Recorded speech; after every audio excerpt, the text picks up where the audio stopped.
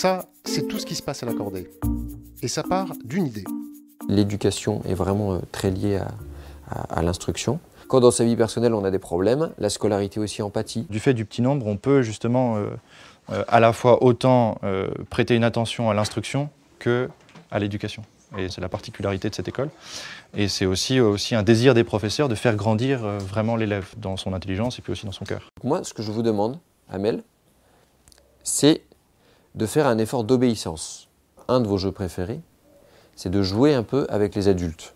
Même si c'est drôle, eh bien, ça, ça ne vous aide pas. Et ça vous fait du mal, en fait. Sans que vous le sachiez, vous vous faites du mal. Ici, les enfants sont pris au sérieux. Amel, j'ai quand même passé, je pense, 10 à 15 minutes avec elle. Et le fait qu'un qu'un adulte écoute, accepte de se taire pour essayer de comprendre qu'est-ce qu'il y a dans son cœur, pourquoi elle est triste, etc. Elles se sont respectées, elles se sont vraiment prises au sérieux. Par semaine, les parents reçoivent en moyenne 6 SMS de la part des professeurs. Monsieur le directeur, il m'a beaucoup aidé et les profs aussi. Au début, c'était dur, Ryan, euh, c'est un garçon qui grandit, qui commence à avoir un caractère et tout, donc on se disputait énormément. Depuis que je l'ai mis dans cette école, en tout cas, je vois beaucoup de progrès. Euh, je lui dis Ryan, fais tes devoirs, il se met à travailler. Puis il y a des moments, je lui dis même pas, il rentre de l'école, il fait ses devoirs. Puis il y a des moments, il chante même. Donc euh, j'étais étonnée de mon fils aussi. Ils savent comment canaliser l'énergie des enfants. En fait, ils les éduquent.